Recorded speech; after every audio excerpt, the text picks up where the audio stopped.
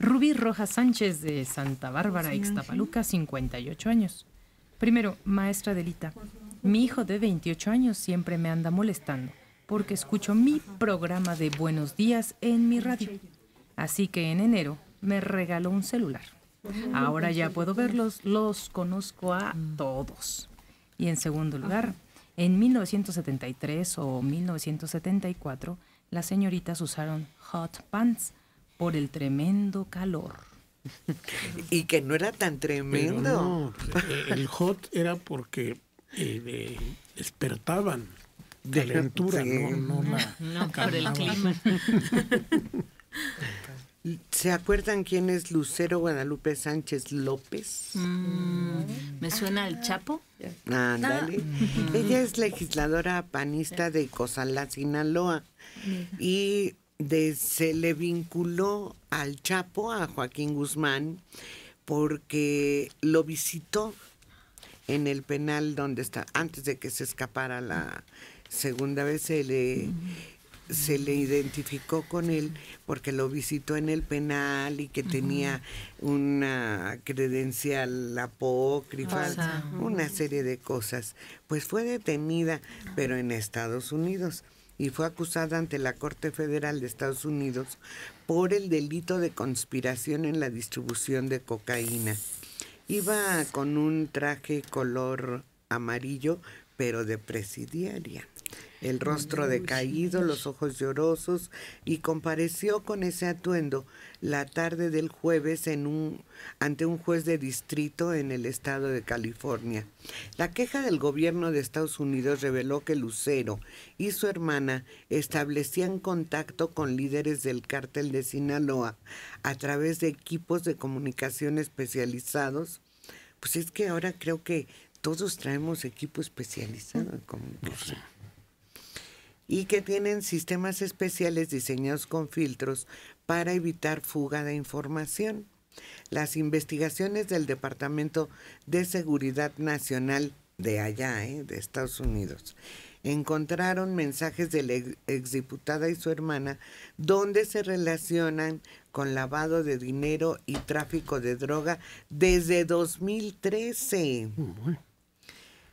En un mensaje de Lucero interceptado por autoridades de Estados Unidos el 24 de septiembre de 2013, se muestra que el sistema de comunicación de la ex legisladora utilizaba el nombre de Piedra. Total que aquí no le pasó nada. Visitó al Chapo, se confirmó que la identificación que utilizó para ingresar al penal no era real, auténtica y no pasó nada. Terminó su periodo ante la legislación correspondiente y ya, y son los Estados Unidos nuevamente los que ponen el acento. Pues sí. Fíjate qué gran problema para la democracia. El hecho de que pueda llegar personas como estas a ser nuestros representantes y hacer nuestras leyes. Platón hablaba de que los gobiernos deberían de estar eh, eh, integrados por la aristocracia, pero aristocracia no era que fueran condes o marqueses, sino de aristos los mejores, un gobierno de filósofos. Pero en una democracia como la que tenemos, donde las campañas cuestan mucho dinero, solo pueden llegar quienes tengan los patrocinadores que tengan mucho dinero. Y en este país tiene mucho dinero el narcotráfico. Entonces el gran problema es que de pronto lleguen este tipo de a representarnos y a hacer nuestras propias leyes. Esto es terrible y es algo que no lo supera ni siquiera Estados Unidos. Pero eso empiezan los partidos en la elección de sus candidatos, porque ya cuando llegan a nuestro conocimiento, pues ya tienen una una biografía, ya tienen una historia y es la que a nosotros nos presentan.